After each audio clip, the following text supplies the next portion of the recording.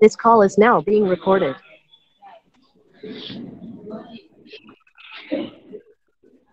Hello, good morning, all of you. Hello, girls. Hello, good morning ma'am good morning. तो, तो चलो आप में से कौन बताए कि अब तक हमने कितने चैप्टर कंप्लीट किए और सबके नाम क्या है किसी को याद है? मैम सेम कट रहा है।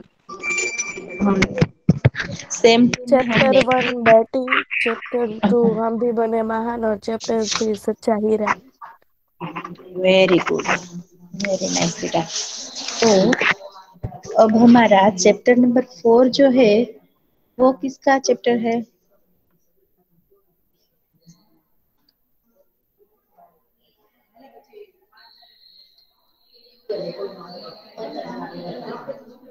हेलो चैप्टर नंबर फोर जो है, वो कौन सा है?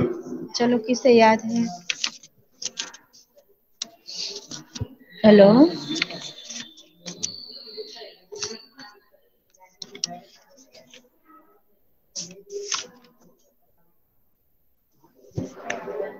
चैप्टर नंबर फोर जो है, वो है देश के नाम संदेश।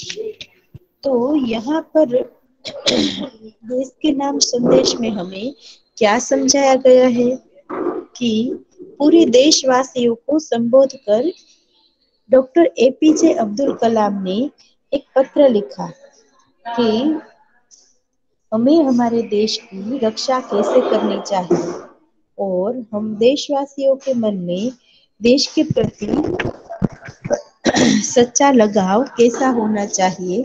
ऐसी सीख भी हमें इस लेसन में डॉक्टर एपीजे अब्दुल कलाम ने दी है।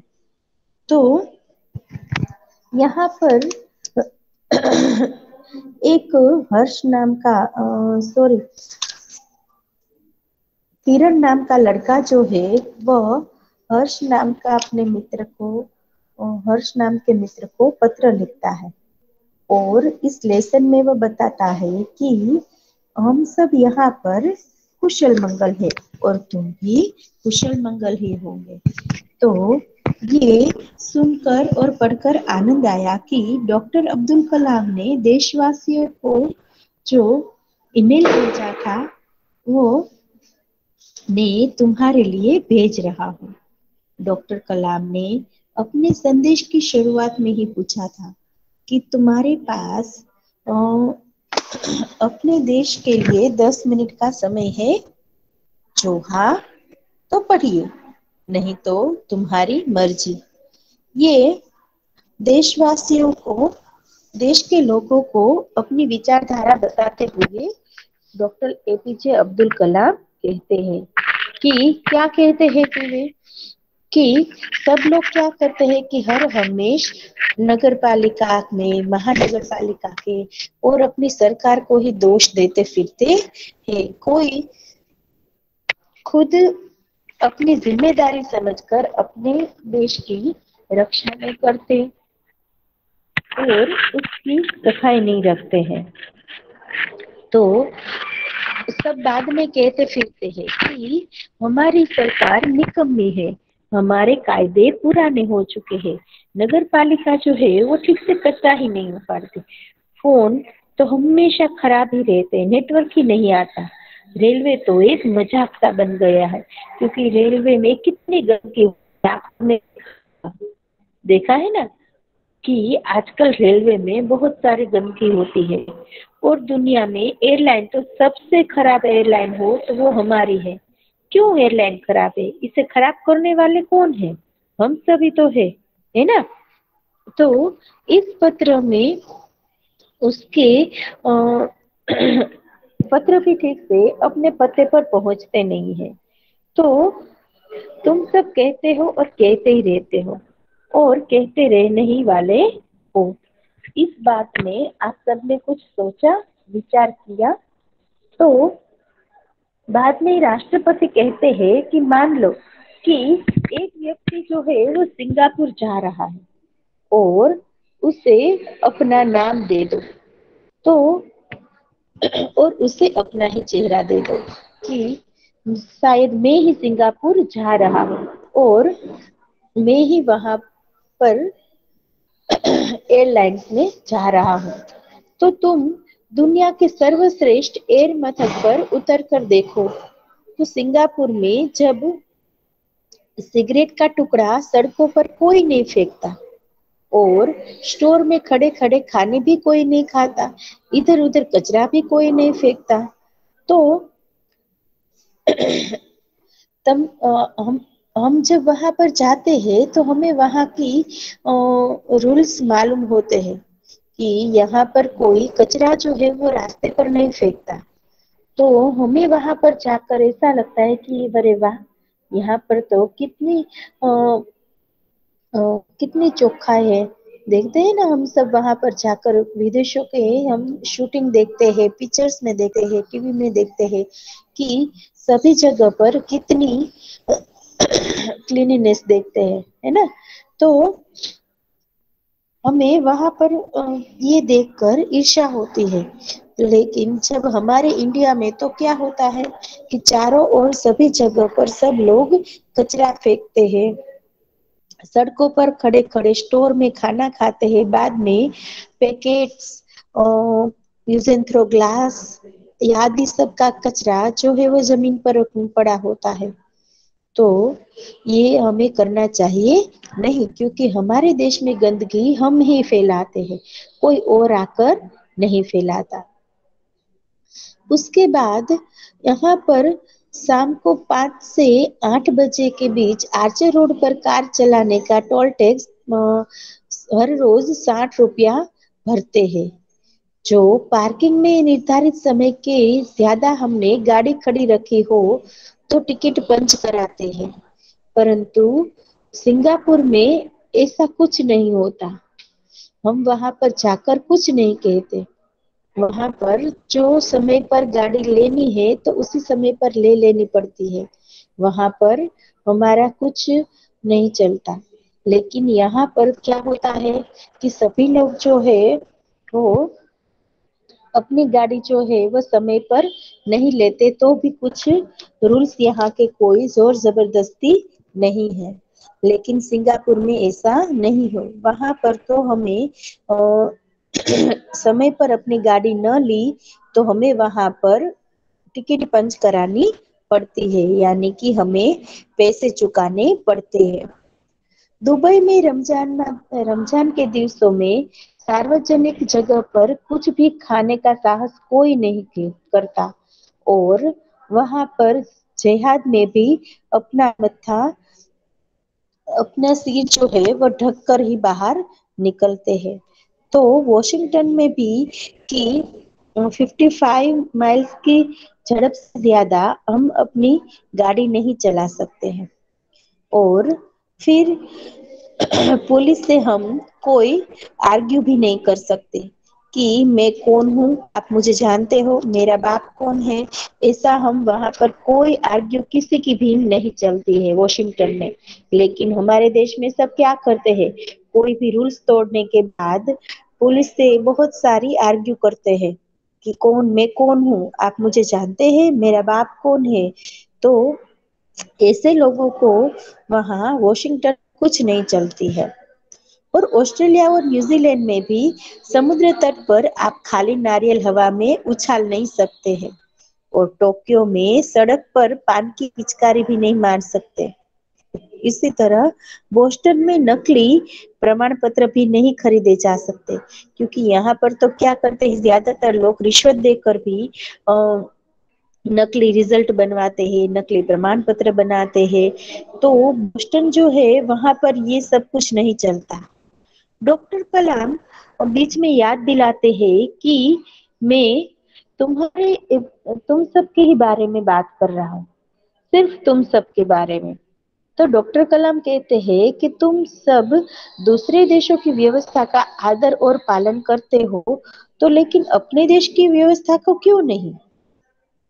भारत की धरती पर जैसे ही पैर रखते हो कि सिगरेट का टुकड़ा कहीं भी फेंक देते हो। कागल के, कागज़ के टुकड़े भी उछालते हो? तो जो दूसरे देश में आप जाकर वहाँ पर प्रशंसनीय नागरिक बने रहते हो तो हमारे देश में क्यों नहीं? तो हमें भी अपने देश में स्वच्छता रखने के लिए ये सब काम करने होंगे।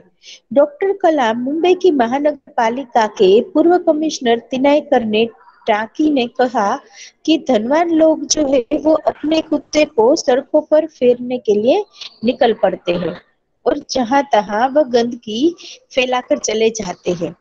और फिर से लोग गंदगी, सड़कों पर गंदगी के लिए प्रशासन को ही दोष देते हैं।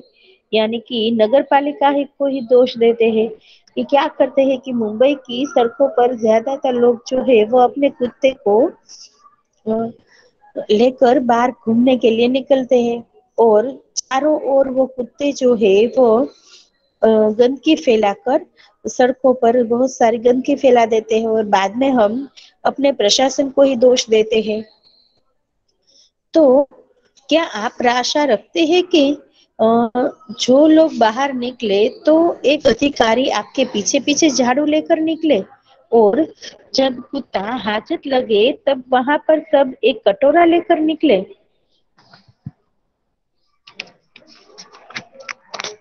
राष्ट्रपति ऐसा उदाहरण देते हैं कि अमेरिका और जापान में कुत्ते के मालिक ने कुत्ते को मालिक को ही उसकी घरेली गंदगी साफ़ करनी पड़ती है।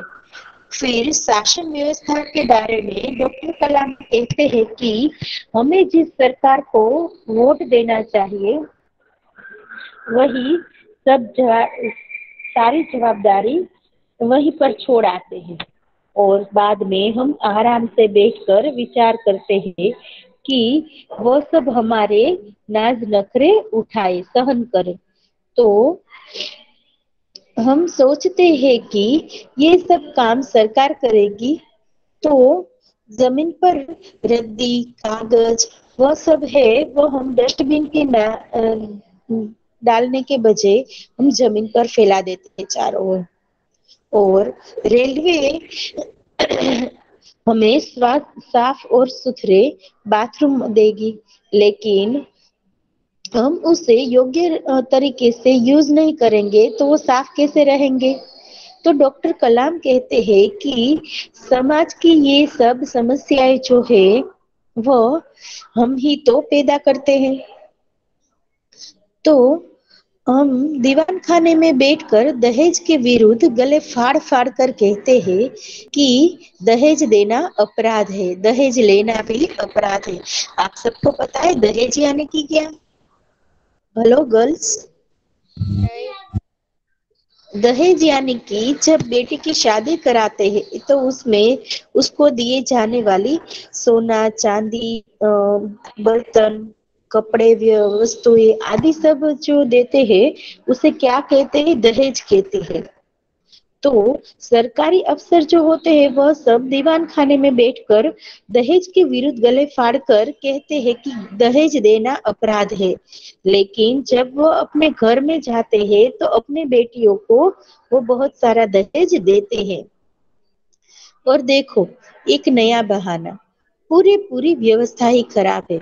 जो मेरे बेटे का आ, आ, मेरे बेटे का ब्याह दहेज ब्याह में, मैं दहेज न लो, लू तो इनसे फ़र्क क्या पड़ने वाला है? बाद में ये भी सोचते हैं, अपने बेटियों को दहेज देते भी है और बाद में ये भी सोचते हैं कि एक मेरे बेटे के ही शादी में मैं दहेज न लू तो क्या फ़र्क पड़ जाएगा? बाकी सब तो लेने वाले हैं। लेकिन ये नहीं सोचते कि मैं मेरे से ही बंद कर दू। राष्ट्रपति इस संदेश में पूछते हैं कि इन व्यवस्था को बदलेगा कौन? ये व्यवस्था है किसकी? आप सहलाई से कह देंगे कि ये व्यवस्था जो है, वो अपने आस पड़ोस पड़ोसी, आसपास के घर, दूसरे शहर, अन्य समुदाय और सरकार। पर मैं और तुम बिल्कुल नहीं। यदि हम दोनों ही नहीं बदलेंगे, मैं और आप तो और कोई कैसे बदल सकता है? हम हमेशा सही नियम जो है, वो हमारे ऊपर आचरण नहीं करते हैं। वो हम अपेक्षा यह रखते हैं कि सब दूसरे से ही शुरुआत करें। तो जब कुछ अच्छा करने का मौका मिलता है, तब हमें हमारे परिवार को सुरक्षित कवच में घेर लेते हैं और दूसरों की ओर हम इशारा कर देते हैं। और हम प्रतीक्षा करते हैं कि कोई मिस्टर क्लीन आएगा और अपने जादुई हाथ की चमत्कार करेगा और सारा देश जो है वो एकदम क्लीन हो जाएगा। तो जब ये सब नहीं होगा तो हम इस देश को छोड़कर चले जाएँगे। तो बाद में वो कहते हैं कि हम हमारे भय से भागकर अमेरिका जाने की सोचते हैं और गौरव के गुणगान करेंगे कि अमेरिका की व्यवस्था जो है, वो एकदम से फ़र्स्ट क्लास है। न्यूयॉर्क जो है, वो लेकिन बाद में जब वहाँ पर हम दूसरे देश में जाएँगे तो जब दूसरे देश में हमें कोई भी मुश्किल आएगी या असुरक्षित महसूस होंगे, तब हम क्या करेंगे? दूसरे देश चले जाएँगे, इंग्लैंड जाएँगे। और यदि इंग्लैंड में भी बेकारी आएगी तो हम क्या करेंगे? कि अखात के दूसरे देशों में चले जाएँगे। और अखात के देशों में भी यदि युद्ध निकल आएगा तो हम बाद में अपने देश से ही आ, अपनी बचाव की रिक्वेस्ट करेंगे कि हमें अपने देश में वापस बुला लो। और हमें किसी भी कोई भी परिस्थिति में यहाँ से निकालो। हर एक व्यक्ति अपने को गाली देने के लिए तैयार है, परंतु व्यवस्था में सकारात्मक योगदान के लिए कुछ भी नहीं सोचते हैं। तो हम अपने आत्मा से पैसा खातिर गिरवे रख देते हैं कि हमें अपने देश में गंदगी है, बहुत सारे इधर उधर की यहाँ की व्यवस्था ठीक नहीं है तो चलो हम दूसरे देश में चले जाते हैं। जब दूसरे देश में चले जाते हैं तो वहाँ पर हमें कोई असुरक्षित महसूस हो तो हम दूसरे देश में वहाँ से भी चले जाते हैं। जहाँ पर हमें बेकारी यानी कि कोई काम नहीं मिलेगा तो हम तीसरे देश में चले जाएँगे और वहाँ पर भी कुछ भी परेशानी होगी, बाद में हम क्या करेंगे कि अपनी देश से ही मदद मांगेंगे और कहेंगे कि हमें किसी भी परिस्थिति में यहाँ से अपने देश को वापस ले जाए। तो डॉक्टर कलाम व्यवस्था में नागरिकों का सकारात्मक योगदान के लिए देशवासियों को कहते हैं कि श्रेष्ठ नागरिक बनने की शुरुआत करने की अपील करते हुए संदेश में कहते हैं कि खरेखर इस संदेश के साथ सभी सहमत हो तो संदेश ने पोता हम सब के दस साथियों को और ईमेल भेजो। कि यदि इस संदेश के साथ आप सहमत है तो ये ईमेल जो है, वो अपने दस साथियों को और को भेजो। तो इसीलिए ये किरण जो है, वो अपने मित्र हर्ष को ये पत्र भेजता है। तो सबको इसका सार समझ में आया कि इस पाठ में क्या कहना चाहते हैं doctor Kalam? Hello? Hello girls? Hello? Hello girls? Almas. हाँ समझ में आया बेटा कि इस लेसन में डॉक्टर कलाम जो है वो हमें क्या संदेश देना चाहते हैं बेटा?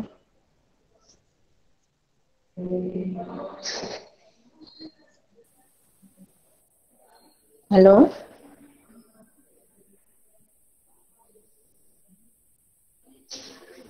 हेलो? ओके चलो तो अब इसका सार हमने समझ लिया है तो अब हम इसको रीडिंग करेंगे। और बाद में हम इस लेसन को समझेंगे। बरोबर है? Hello girl. क्या दिखाई दे रहा है? स्क्रीन पर ठीक से दिखाई दे रहा है? यस यस मैम या ब्लर हो रहा है? मैम ठीक दिखाई दे रहा है। ओके चलो तो इसे रीड करेगी घबरानी शकीना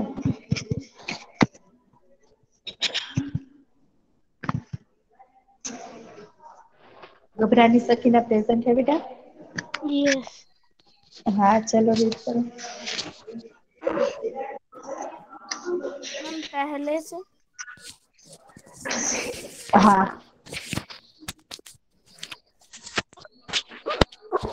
लेसन फोर देश के नाम संदेश। हाँ। पत्र में माध्यम से हम दूर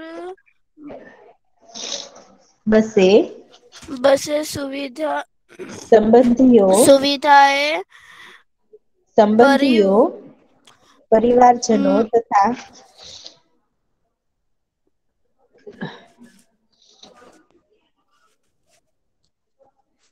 मैं मैं रीड करूँ तुम्हारा नाम बेटा दे रही है बहुत शेरा। हाँ ओके चलो मुबशिरा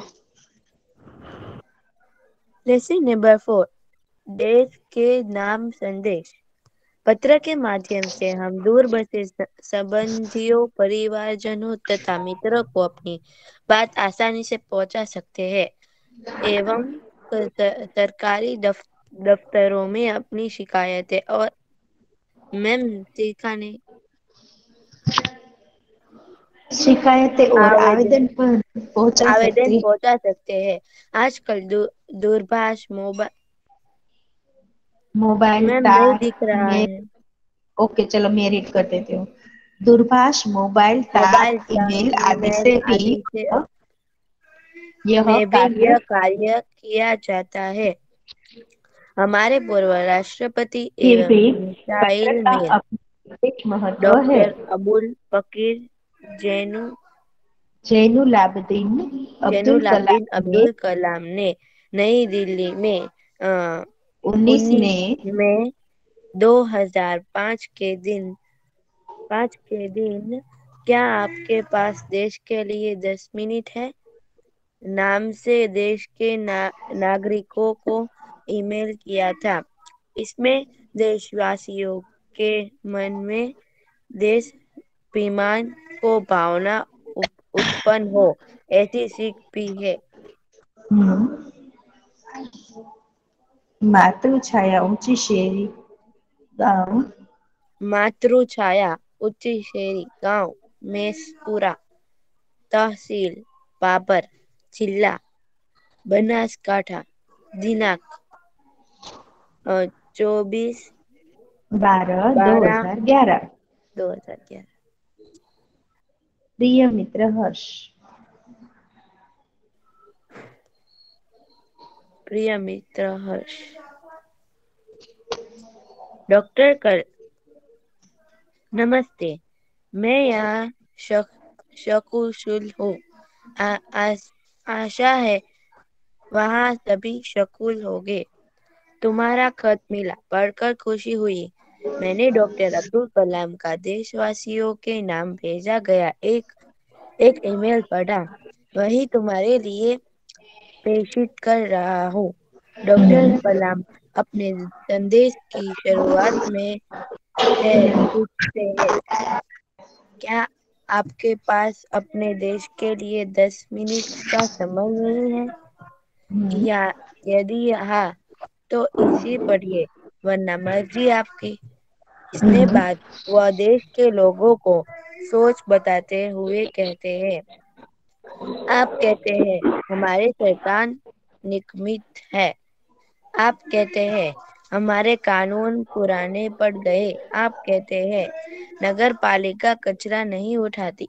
आप कहते हैं, फ़ोन काम नहीं करते मज़ाक बन रही है।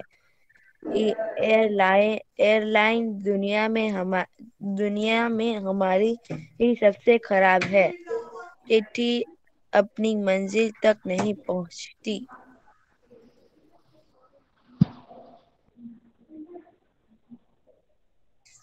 आप आप कहते हैं आप कहते हैं कह, कहते रहते हैं और कहते हो रहते हैं। आपने इस बारे में क्या किया?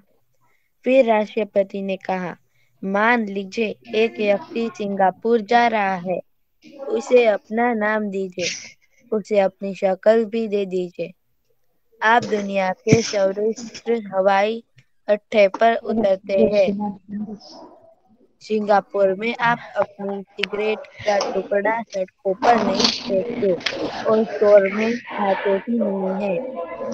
आपको उनके आपको उनके भूमिगत संपर्कों पर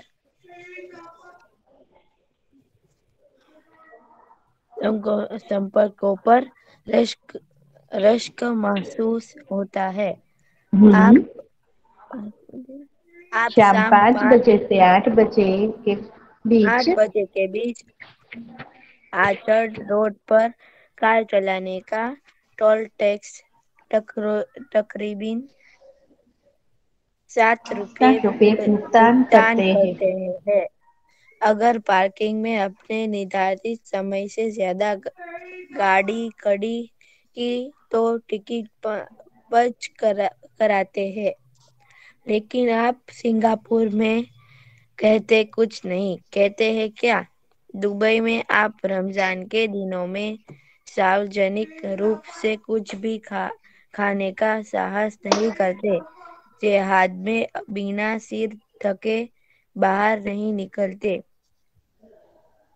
वेस्टिंगन से वेस्टिंगन में आप वॉशिंगटन में आप पचपन मील प्रति घंटा से ऊपर प्रति घटना से ऊपर गा, गाड़ी चलाने की हिमाकत नहीं करते और पलटकर सिपाही से यह भी नहीं कहते कि जानता है मैं कौन हूँ।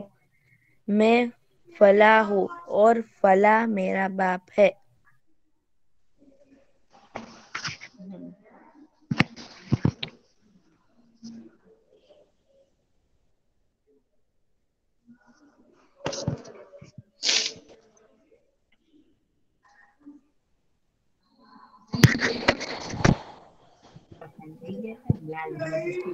ऑस्ट्रेलिया चलो अब और और कौन ऐड करेगा बेटा।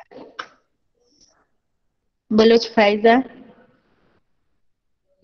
hello Faiza ma'am can I तुम्हारा नाम बेटा?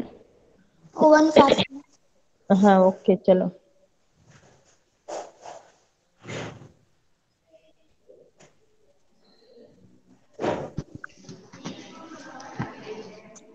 ओके ऑस्ट्रेलिया एंड न्यूजीलैंड के समुद्र तटों पर आप खाली नारी नहीं उछालते।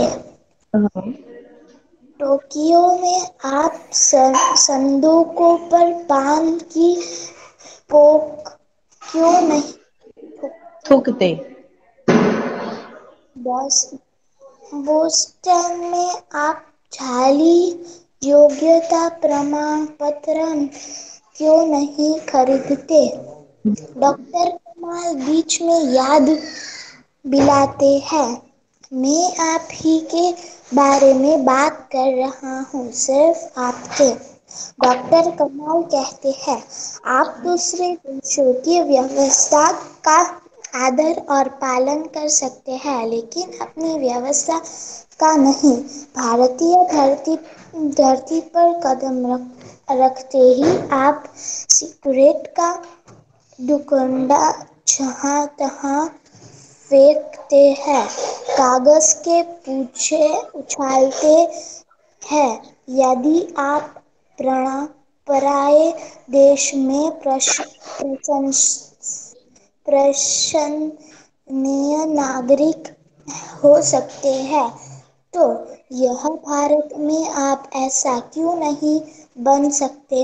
डॉक्टर कलाम ने मुंबई मुंबई के पाँव महानगर पालिका आयुक्त आयुक्त तीन के हवाले से कहा, अमूर लोग अपने अपने खुशों को, संदूकों पर धुम धुमाने निकलते हैं और जहाँ तक, जहाँ तहाँ गंदी गंदगी बिखर बिखर जाते हैं, वही लोग संदूकों पर गंदगी के लिए प्रशंसा पर दोष मंजते हैं।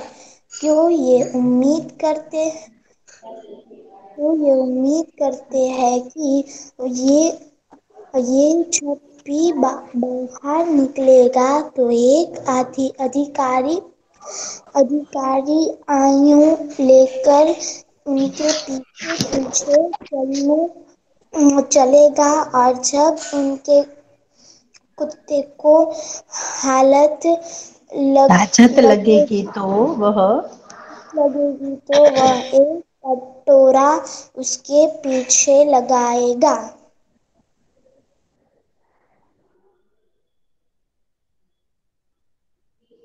ओके चलो कंटिन्यू ओके मैम राष्ट्रपति राष्ट्रपति ने मिसाल दी कि अमेरिका और जापान में के मालिक को उसकी छोटी हुई गंदगी, छोटी हुई छोटी हुई गंदगी साफ़ करनी पड़ती है। शाम शासन व्यवस्था के दौर में डॉक्टर डॉक्टर कलाम ने कहा कि हम सरकार चुनने के लिए वाटे डालने चाहते हैं और अपनी हमारी जिम्मेदारियों भी जिम्मेदारियाँ भी वहाँ उल्टे आते हैं। हम आराम से बैठकर सच सोचते हैं कि अब हमारे नाज, नखरे उठाए जाएँगे।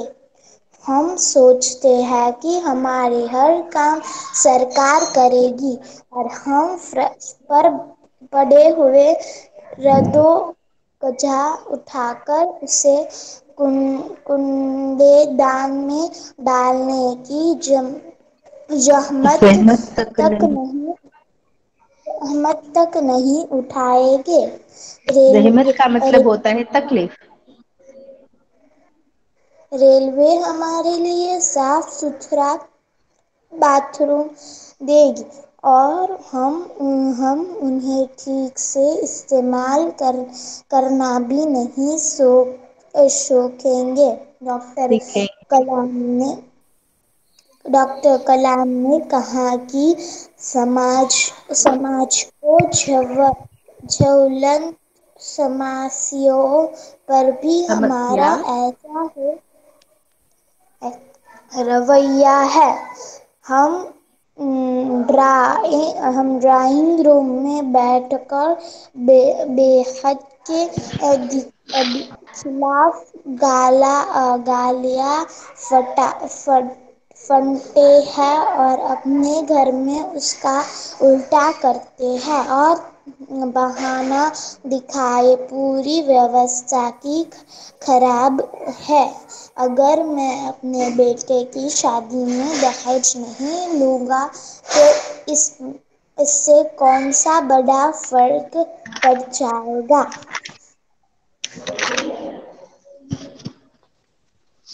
ओके, चलो अब और कौन देखेगा? काका निसारा मैम कैन आई तुम्हारा नाम बेटा? नारायणी यस मैम हाँ ओके चलो। मोदेसा यस मैम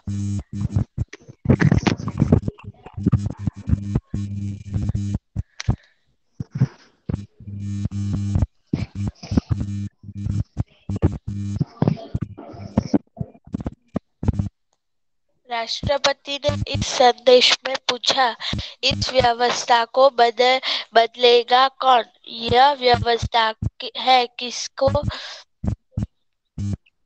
बेटा आपके बैकग्राउंड से कुछ आवाज़ आ रही है मोदेसा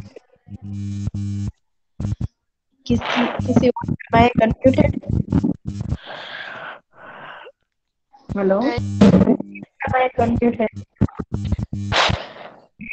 तो सब चलो। मोदेसा तुम भी अपना माइक म्यूट कर दो, चलो। Okay Kaka Nisara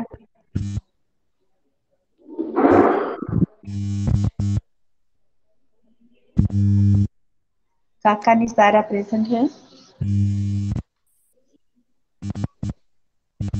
yes ma'am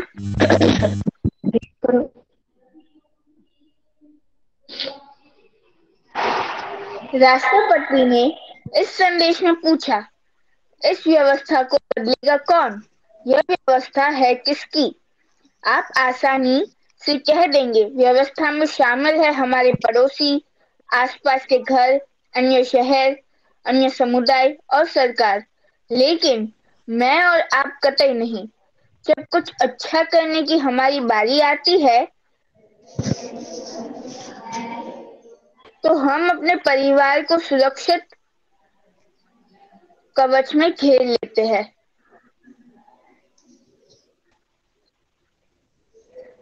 दूसरे देशों की ओर निहारते हैं और इंतज़ार करते हैं कि कोई मिस्टेक क्लीन आएगा और अपने जादुई क्लीन आएगा अपने जादुई हाथों से चमत्कार करेगा और ऐसा नहीं होता तो आप देश छोड़कर ही चल देंगे। उन्होंने कहा, हम अपने भाई से भागकर अमेरिका जाएँगे। उसके गौरव की गुणगान करेंगे। व्यवस्था की प्रशंसा करेंगे और जब न्यूयॉर्क में युद्ध छिड़ जाएगा तो आप मांग करेंगे कि भारत सरकार हमें बचाकर घर ले जाए। हर कोई देश की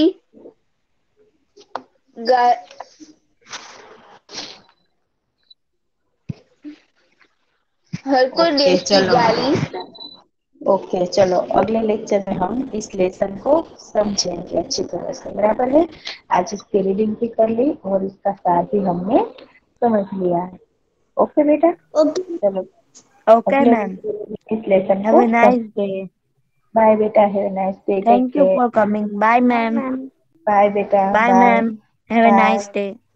Bye, beta. Bye, ma'am. Bye, ma'am. Bye, ma'am.